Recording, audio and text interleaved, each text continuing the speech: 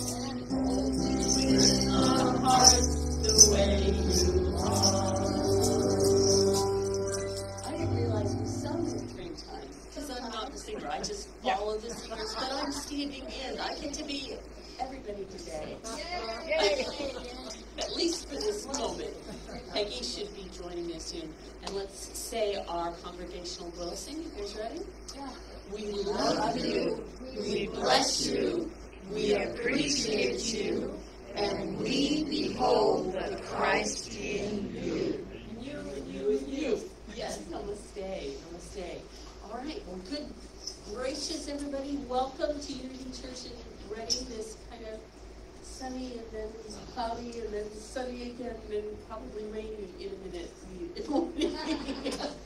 um, I just wanted to welcome everybody and we are going to um, open with prayer.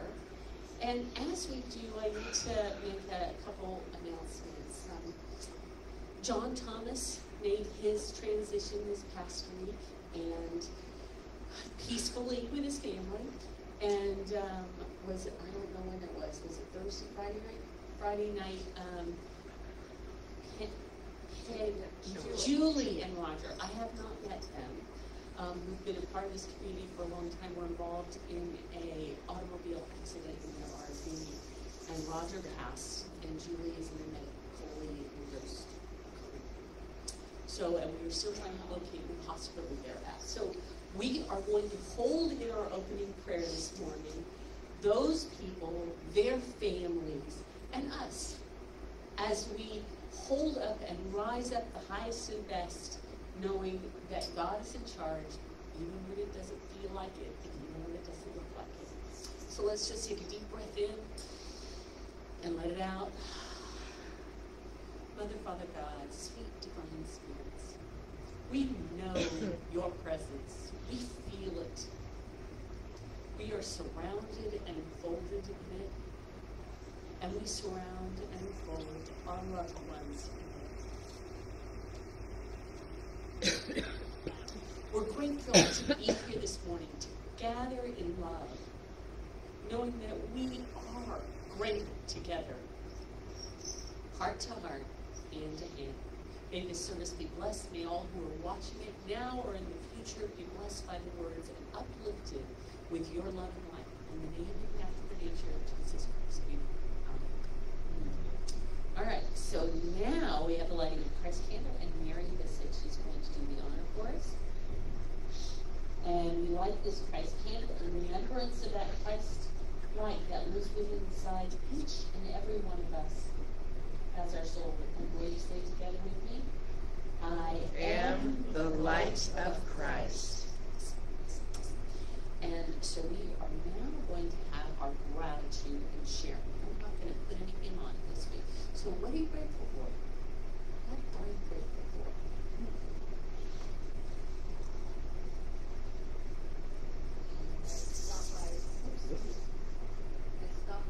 earlier this week and uh, picked out music in, and Ken and Marygrace, they went ahead and um, prayed with me for the cattle. So I'm grateful for the cattle and their babies staying safe. That's so sweet. Good chance for you. How many cattle do you, how many calves do you have? Four right Four right now. So and one on the way.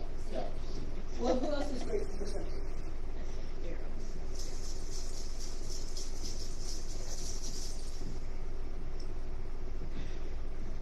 I'm just grateful for unity and letting just a place for just uh, transformation and uh, spiritual engagement and community. Yeah, yeah. And I have time for one more. Who's the next speaker? Oh, Sheldon? Okay. I didn't see your hand go up. I apologize. I just want to say how grateful I am that I got to spend some time with John before he passed. I know he was at peace, but Yes. And now we're supposed to have a song, I believe, aren't we? Is that what comes next? I have to look at my thing. Oh, I have to introduce the musicians and singers. Come on up.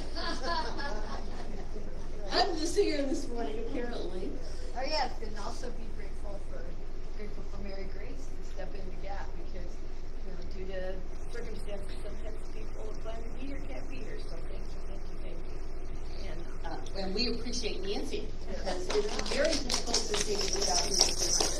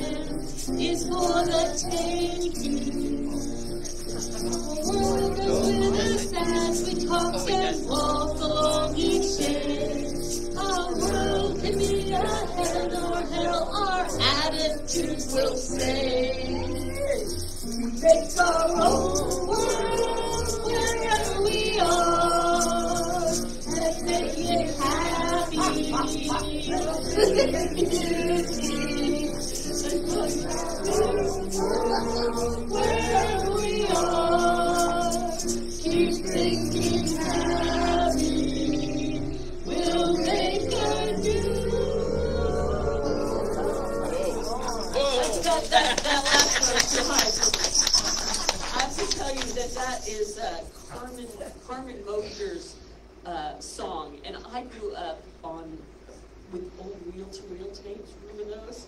Oh.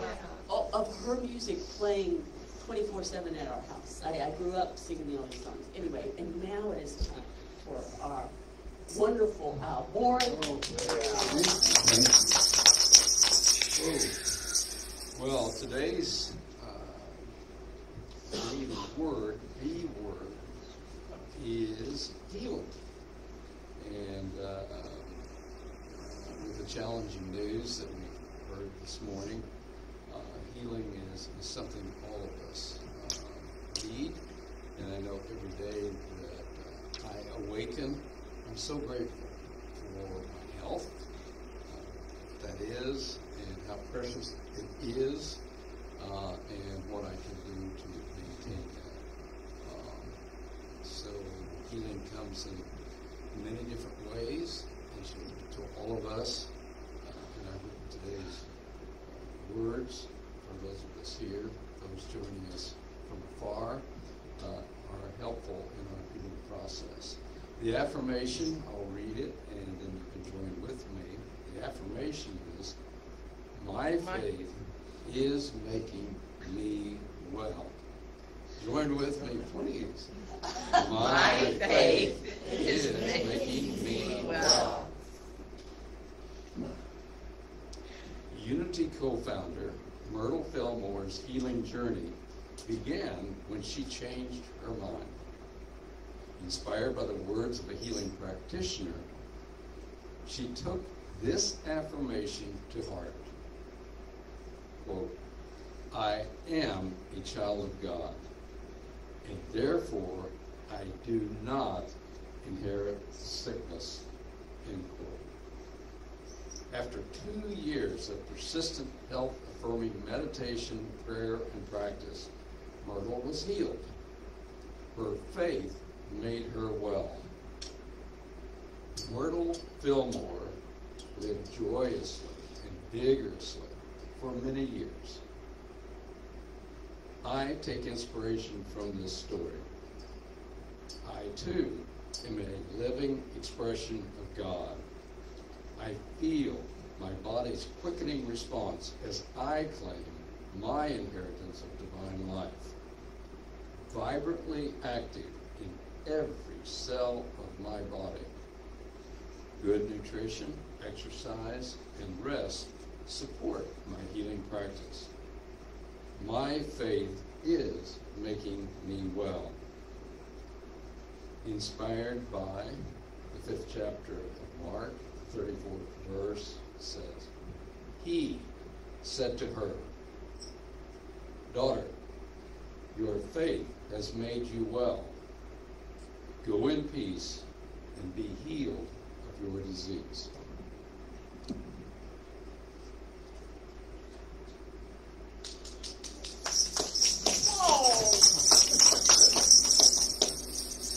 Thank you. Now it's time for us to settle in. For us to let that share hold us. Hold us in that divine, that divine love, knowing that all things are always in the right and perfect order. And as we've come together this morning with the sad news of John Thomas and Roger Hilton, two of the most wonderful men I think I've ever known. The love they had for their wives, the love they shared with each other and that light that they shined out to each and every one of us here in unity. I'd like to hold them today in our prayers, their families. And as we go in to the silence this morning, let's take that love, that love of all of our friends and family to join me with taking another deep breath. And let's just go in.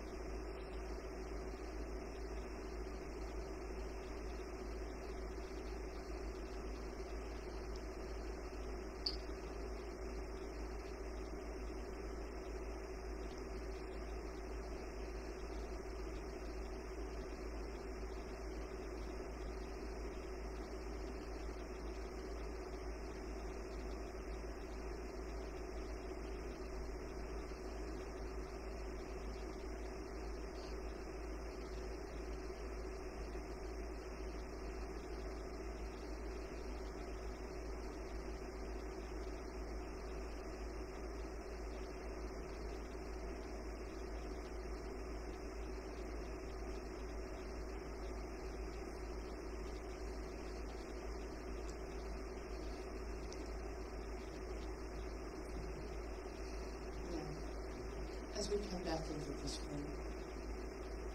We bring that love. That love that we share with our family and friends. So if you'd like to join me now in bringing up all those things and those people in your lives that you shared the light you love with. So join me now and speak their names aloud. My sister Sharon, my sister Mary, my sister Frances, my kids.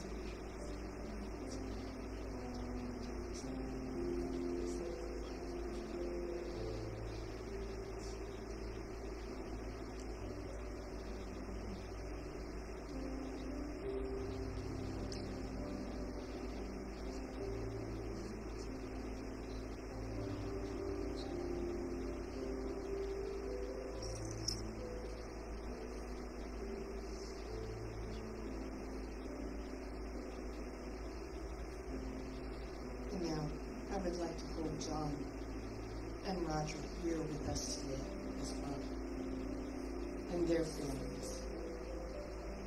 I would like to hold each and every one of you right here and now. For we never know what's going on in people's lives. As you walk down the street and you see somebody with a sad face, smile and say hello. Shine that light because we never know what has just happened. And I'd like to bring our prayer box as well, all the names that have been put in there. No matter what the situation is in anybody's life, it is always handled by God.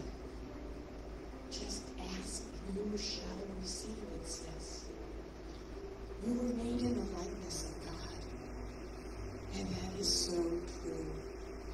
Believe in this, have faith in this, knowing that through the power and the presence of that indwelling Holy Spirit, it is all done. It's waiting. God is waiting for you to open and say, hey, this is what I need. This is what I desire. So let's confirm this by saying our names aloud. Kathy. So through that power and the presence of that indwelling Christ Spirit, I say thank you, God. And so it is. Amen.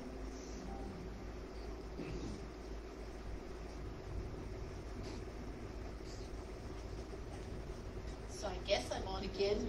What song are we singing this time? What? Three. Oh, oh, the song. You guys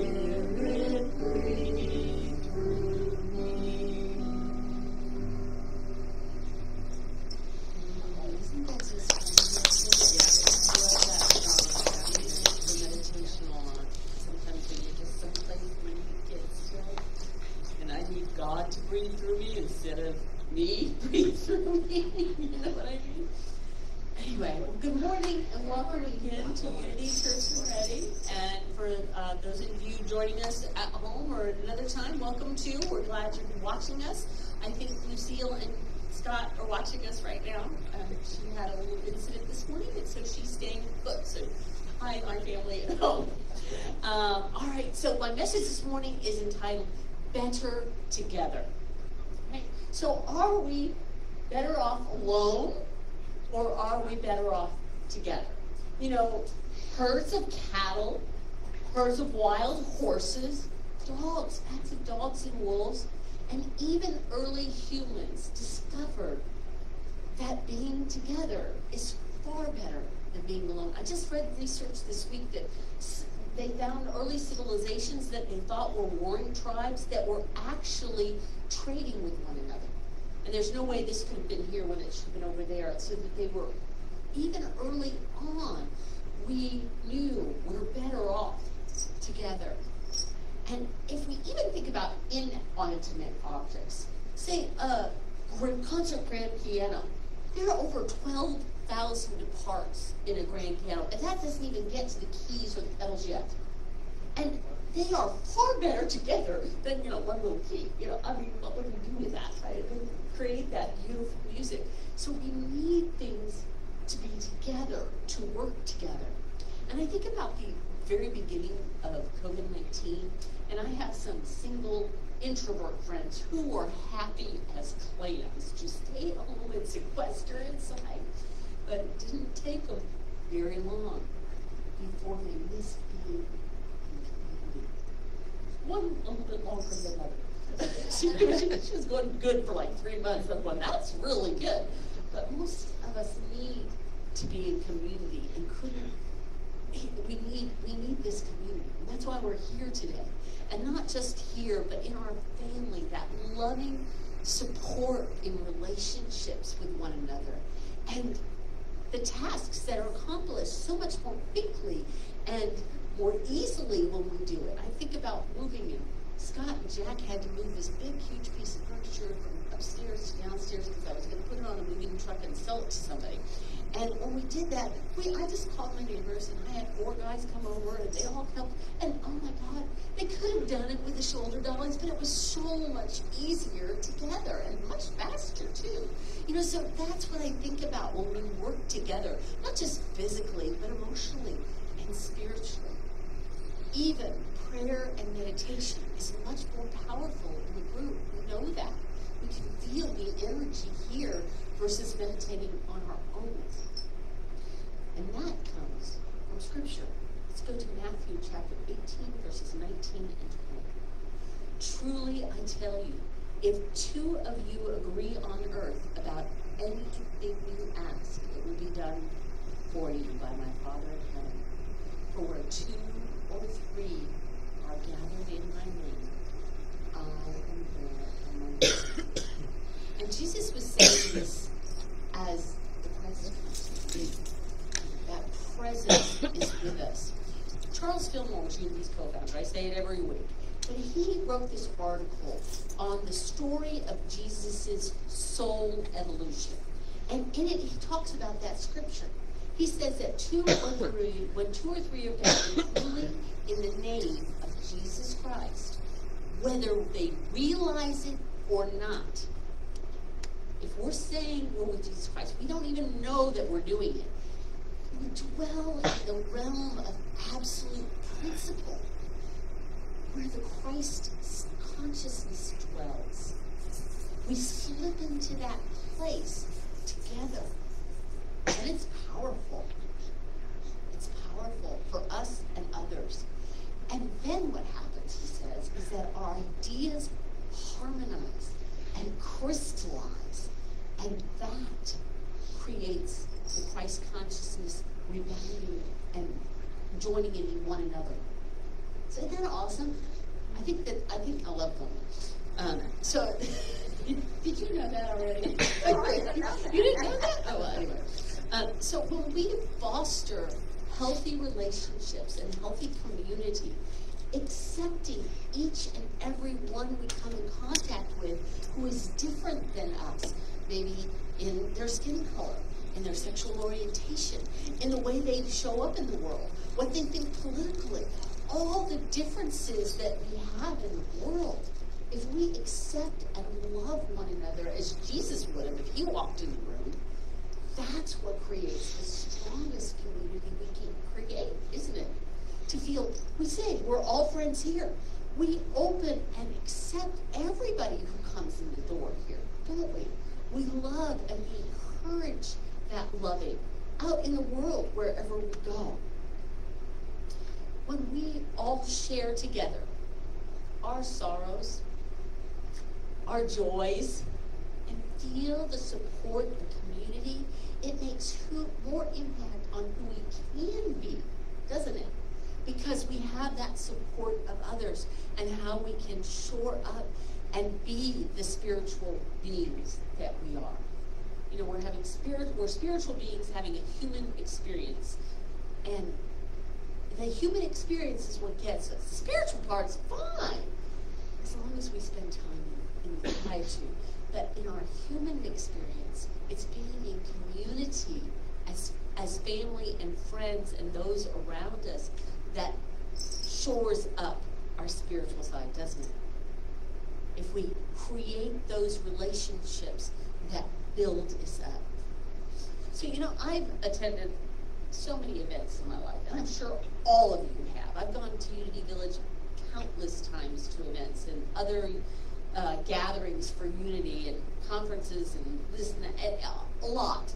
I, I, didn't go back and count them all up. But it, what I've noticed is that when we bring all of our diverse beliefs together, we really unite. And there's a reason that we're called unity. You know, it's that common good that we're all looking for, and that it's safe and flexible to see somebody else's viewpoints, isn't it? Safe to be flexible and see others' viewpoints. I love that about unity. Somebody can come in and say something different, I think about it, I think about it. And, you know, that doesn't fit for me. Okay, but I thought about it, and oh, that's really cool. Maybe I'll try that on and wear that for a while, idea. I love this community that we can do that and share ideas. So we, you know, it's, it isn't just teamwork. It's good work. It's God work when we all are in community together. And I'm so glad you're here, Penny. I don't have to be serious. Thank you for being here. And our affirmation this morning is, um, I am better when we work together. So will you say that with me? I am better when we work together. I am better when we work together. I am better when we work together. I am better. I know I am. I'm way better when I'm working with other people than I am by myself because then I can see other perspectives and have another viewpoint, right? And that's the power of community and working together. One of my personal professional goals this year is to be more in balance, in being and doing. We do out here, but this beingness, I gotta have the balance, right?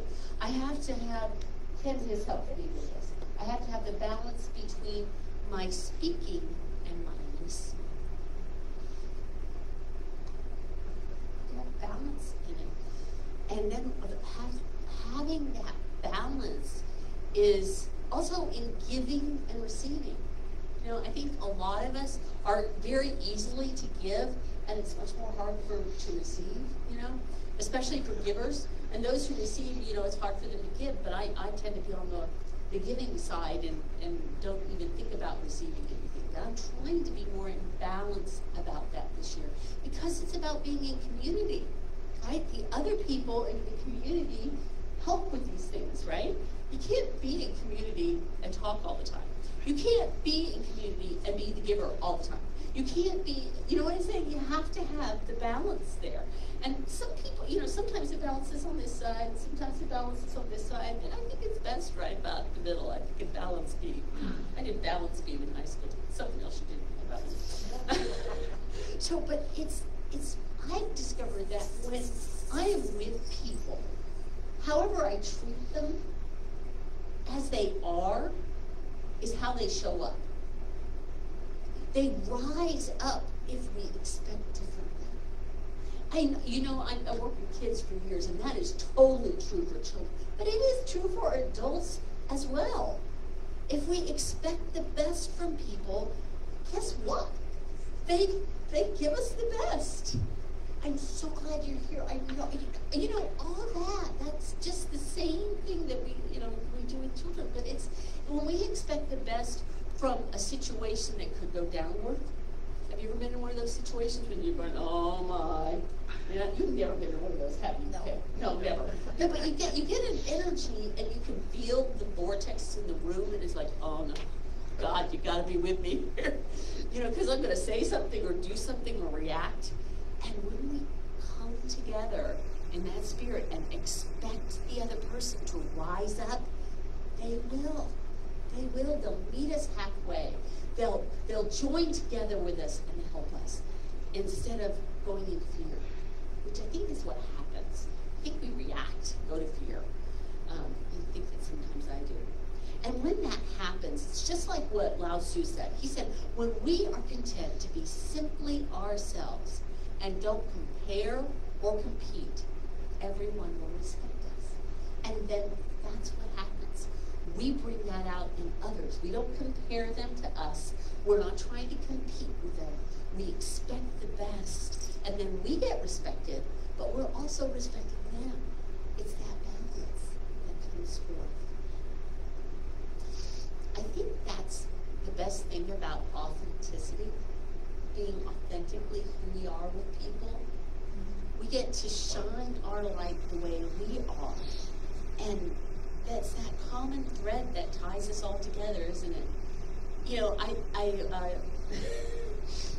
I think about my girlfriend. She's her daughter's a ballerina, and she thinks that everybody in the world should be ballerinas when she was a little girl. And that's not, if everybody were ballerinas, who would watch them? Who would grow food? Who would, you know? I mean, everybody's got their gifts and has to do different things. But you know, she was intent on having everybody she knew dance, right? And, and not everybody's a dancer. Somebody's got to come watch right? So I mean, I get that when we have a passion and love for something, we want to share it with others who have it. But you can't get everybody to do it because we wouldn't have all the diversity. And I, I like diversity. I like, you know, and grapes and apples and oranges. I can just think of all the different fruits I like to eat. Somebody's got to grow those so that I can eat them and enjoy them. And I'm, you know, I've not been very successful. Every fruit tree I've ever planted, these squirrels eat more of that fruit than I ever get. Has anybody else had that experience? but I know that they're very successful at it in places because it's in the grocery store and I eat it. So somebody is banding together to make these things work. And that's that's better together. That we reunite and that as a community we get to build that. But the one thing I found in all these gatherings I've gone to is that communication and organization is very helpful for people to work together. When it when people aren't talking together, chaos ensues. You know, it, it just happens because we're not communicating. Or if we don't have um, organization, you know, it's all a mess. I love how Jerry's got her chocolates for sale out in the table over here by the library. And they are so organized. She has her sign with the prices. You can see which ones are which, and it's all organized. She could have just thrown them out there in a jumble, and we could have tried to figure it out. But that organization really helps. you know, you know. But that's what it, communication and organization are key to working together well, and that all gives us value, doesn't it? And, and we all have our different values and different things. And in this faith community, we each as individuals and as a collective community have ways that we support, that you are uniquely our own. You know, we have some people who usher, some people who do music, some people who sing. Thank you it's our wonderful meditation. You know, I'm going to say this in front of everybody. I've been in unity my whole life, and I have been heard wonderful meditations, and I can lead a really good meditation. But Kathy does a superb job She is exceptional in how she weaves things together, and it is a gift. And but she does that and shares it with our community. Now we all could come up here and lead the meditation, but you know it's not the same because we need to share in each other's gifts. Does that make sense? You know, Diana leads our prayer group in the morning. We have our ushers who do their part, and then we have the people who do the sound team. And you know, everybody has their part in community. Kay opens everybody at the door, and if without Ken, all the things wouldn't work. And our sound system, I would I would walk, I have to watch my my microphone because I knock it with my hair and make too much noise. And he keeps me on track. So we all have our gifts, and he does so much more than that. That's not all you do. That's what he did for me just this morning. So I am so grateful for everybody sharing their gifts in their own unique individual ways. And, you know, we all have our things that we share. And if I didn't say your name and mention something you do, know that I know what you do, am grateful for the what you bring to the table. I am. I'm grateful for everything. So, you know, Pablo Casals, I think I said his name right, said we ought to think that each one of us are a leaf on a tree. And the tree is all of humanity. And we cannot live without that tree and all the other leaves. I love that when I read it. We need each other. We need each and every gift that we share. So, what's your passion? What's your gift? Answer inside yourself. What is it that makes you excited and how you want to share yourself? That's your gift to the world. That's your gift. Charles Fillmore studied world religions. He attended the Parliament of World Religions in 1893 and in Chicago. And he said that they were the great thinkers of the ages. He called upon them, and he says, in unity, we have borrowed the best from all religions. That is the reason we're called unity. Unity is not a sect. It is not a separation of people into an exclusive group of know-it-alls, thank you God, because we don't. Unity is the truth that is taught in all religions, simplified so that everyone can understand and apply it. That's fabulous.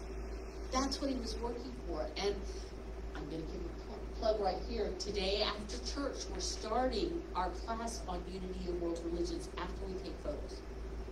So we're going to have our class on that and talk about how the we're a community with all the unity world religions classes, religions, all the world religions. And he said that we are better together. Charles said that. He said we are better together. That's where my talk title comes from. Because he knew that it takes community and it takes one another to be strong. Reverend um, Jim Gaither, who was a classmate of my dad, he's been a Unity minister for over 45 years, and he was the head of Unity Metaphysics at Unity School for years, uh, I think for over 20, until they went online. he said that unity is a scientific age spiritual path. It is, isn't it? It's a scientific age spiritual path connected to Christian, Christian and New Thought traditions, steeped in it while unity honors and seeks to learn from science, literature, and all religions, unity provides practice that lead to spiritual illumination with fruits of healing and positive change. And that's so true. I read that, I'm going, oh, he's smart. I knew he was smart, but that really is smart, isn't it? We have all these different pieces that come together that bring us up and raise us up that we can feel the oneness and use and practice in our daily lives when we're up and down and in between. Life has that way, you know, it's the human experience going up and down, you know. And, and when we're down, it's the spiritual stuff that holds us together. When we're up, it seems like it falls away sometimes for some folks. But I think it makes the next dip easier if we stay firm in spirit and unite with one another. So, these teachers teachings strive to bring us together. as individuals to uniquely express our powerful presence in the world. And you know, it's a it's a reminder to step into our gifts. So what is your passion? What is your gift to share in this community?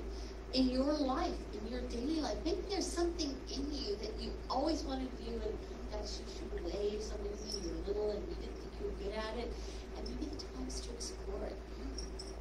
I mean, I don't know. I, I, I think that a lot of children, I've worked with so many kids, and what I love about Unity is that we draw forth the natural gifts within children and they recognize them. But very, you know, most kids, when they're four years old, if they, three and four five years old, when they are nurtured and taught to listen to their inner voice, they find their life path early on. They do, if, if it's encouraged and strengthened within the family. But if they're shoo-shooting, oh, you can't be, or, but, you know, if that, if any kind of stuff happens to them, they shut it down. They shut down their spirituality. They don't trust it. They don't listen to it. And then they have to come back here as adults and try and figure it out again. So much easier if we can listen and find it. And we're here today to find what is ours to do, to gift, to share with the world. We're here in California, right? And the California redwoods, according to Robert Woods, I did not know this, have the shallowest roots of all trees. You already knew that because you live here, right? But I did not know that. They say the shallowest roots, but they are the strongest, tallest trees because they unite together. All their root systems work together, and that's what makes the forest strong. Well, oh, I didn't know that. That's a wonderful, isn't it? And I've been to visit them, but nobody told me that when I was there. But that is so cool that when we stand together, we're much stronger. We're stronger as a community. We're stronger in love. We're stronger in faith. We're stronger in our growth to be able to awaken and move along. So today I'm going to ask you to be a part of this spiritual community. And if you want to, you can affirm with me each of these lines. I didn't put it up on the screen, so you really have to listen, and I'll speak slowly. I am here to grow spiritually. If you want to, if that works for you, say it. I am here to grow spiritually. I, oh wait, I'm going to give you another one. I'm not going to do it three times this time. You know me really well, Alexa. She's got it down three times, Marygrace says. Okay, we'll do it two more times. I am here to grow spiritually. I am here to grow spiritually. Thank you, Alexis, because she just reminded me what I know. When we say an affirmation three times, it grounds with it. I taught her that, and she knows it, and she had to remind me. So sometimes we forget, and we need each other in community to remind us. So thank you, Alexis.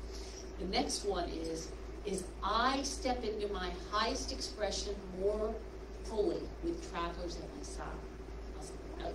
I, it's long. Well, let's use this do the first part. I step into my full expression. I step into my full expression more easily, More, more easily with fellow travelers at my side. With fellow travelers at my side. Let's do it again, slow.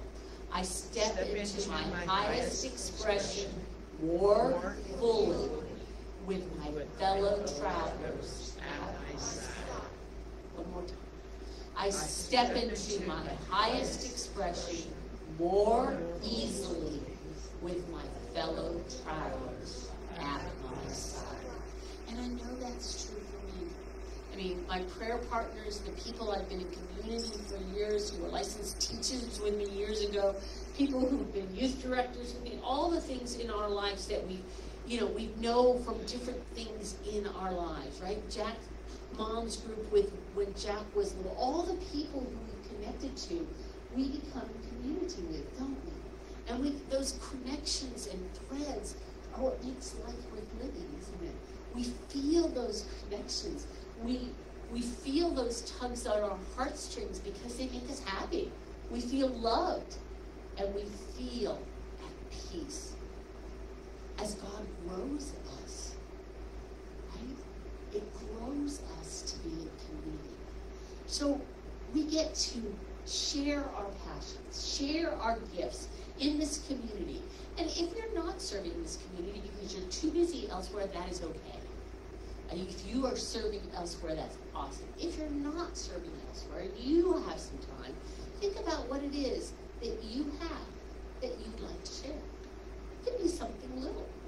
Maybe you're an artist and you share paintings with us. Whatever it is, I don't. I'm not an artist. That would not mean you you get stick figures on the wall. Sorry, but we are better together. So let's go back to our affirmation one more time and say, I am better when we work together. and let's hold that in prayer. Oh, okay. I'm going to do two more times, Alexis. I am better when we work together. I am better when we work together. Now let's just breathe that in. Mother, Father God, we know we work to better together in community.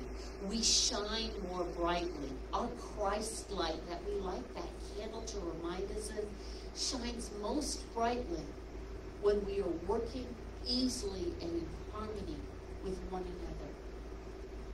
We rise up today to look for the highest and best in all, to accept our diverse community and everyone that we meet that runs across our path who's different than we are, with love and open acceptance, knowing that they bring something to the table that we don't.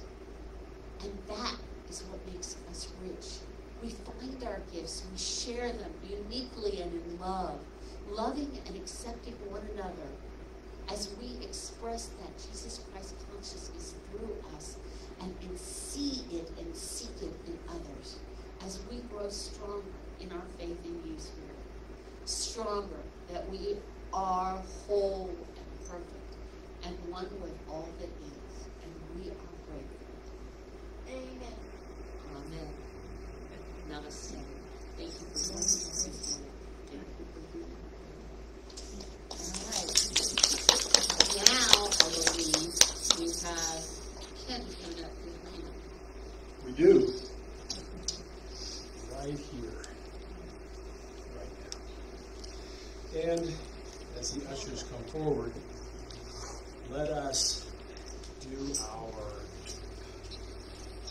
UCIR consciousness statement.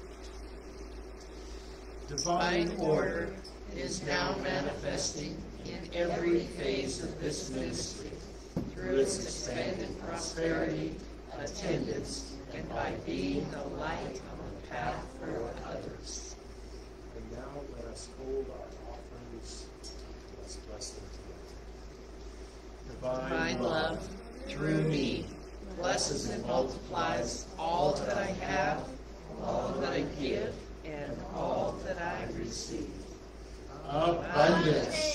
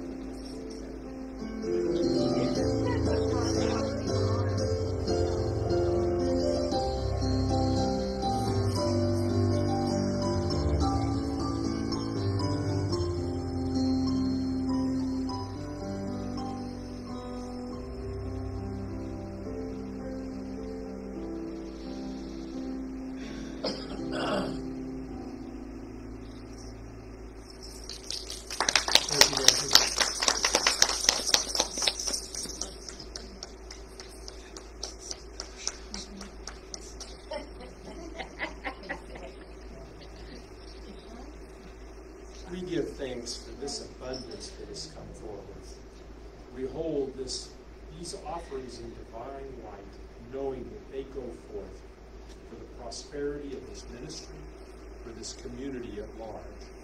For we are blessed by the hands that brought them forward. And we are blessed. And so it is. Amen. Abundance. Abundance. I love that word. Uh, let's see, you weren't here last week. I talked about abundance.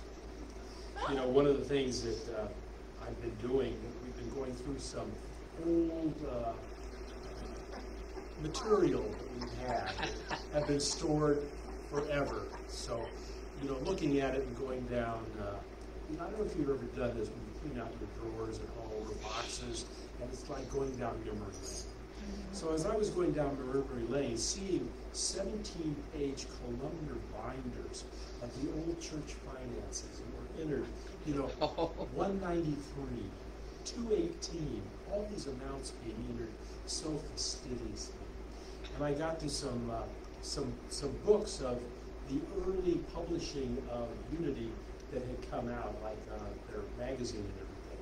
And I was going through it, and I was looking at, I don't know, about 1995 or 96 edition. And uh, I was telling uh, Reverend Marygrace about it, and she says, Oh, yeah, I, I used to write for that. So I opened it up, and here's a picture of Reverend Mary Grace 25 years ago. Yeah. Yes, she's real. Uh, yeah, I- I- confirmation, you know. And let's see, what other announcements do we have today? Well, certainly, uh, I'd like to acknowledge all the volunteers that make this service possible. We also uh, are telling you that the church office is going to be open Tuesday, Wednesday, and Thursday of this week, 10 o'clock until 4. We also do a meditation here in the sanctuary at noon. And it was really nice when some uh, people that don't normally come in came in during the week this last and uh, participated in the sanctuary. If you would like prayer before or after service, don't hesitate to talk to Reverend Mary Grace, Kathy, or myself. And uh, we also offer that prayer service circle at 9.30 on Sunday morning. It's facilitated by uh, Diana. Uh, our classes this coming week are Course of Miracles at Wednesday at 10, uh, Way of Mastery meets Thursday at 1, and we can check the bulletin board for any of our 12-step offerings. Right after class, as Reverend Mary Grace pointed out, we do have a brand new class starting, and it is Unity and World Religions. It will be a four-week class going each Sunday in February. Uh, also, we have the Sound Bath coming up on the fourth Tuesday. At 7 p.m. to 28. Uh, don't forget uh, Marjorie, uh, Marjorie, Margie Kennedy's uh, work group out of Simpson. They're putting together a mission and they're raising money by hiring out uh, the ones that are going on this mission to do whatever work you might have them do. So you've got yard work or you know stuff you'd like to have hands do, uh, you can ask Mary Grace and get a telephone number. Uh, also, right after service, for those who have been asked, we're going to do some group photos for the church, so we can put them on our Facebook page and our uh, uh, Facebook and our website and so forth. We're also going to offer a membership class. We haven't done so since uh, uh, before last August, and we're going to do a membership class on 229. So two weeks from today, we'll do a membership class. 219, what did I say? I would be by myself, wouldn't I? Two nineteen, which is two weeks from today. And we look forward to seeing everyone here next Sunday. If you're not able to be us, you might want to join us online on Facebook live streaming. Also, everybody has mentioned that uh, Jerry has her candy uh, aisle out there. And, uh, you probably need to get to it before I do, so there's nothing to be left. So, uh, she's going to have it up all week and also next week. So please uh, support her. Anything else you'd like to add? Oh, and we're gonna take some photos after church. Thank you. Yeah, I you. Yes. I did. You were having a senior moment. Well, thank you very much. And let us go back for our peace song and our prayer of protection. And I'd like to welcome up uh, Peggy. Is her mic on? check her mic. Hello? Yep. Put it it. There you